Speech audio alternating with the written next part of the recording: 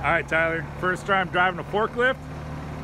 I want you to pick up this container right over here and put it over there. Got it?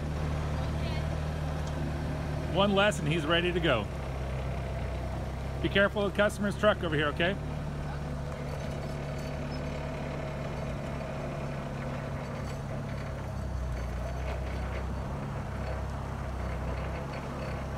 A little to your right. To your right. No, Tyler, you're right. Brakes. Uh-oh.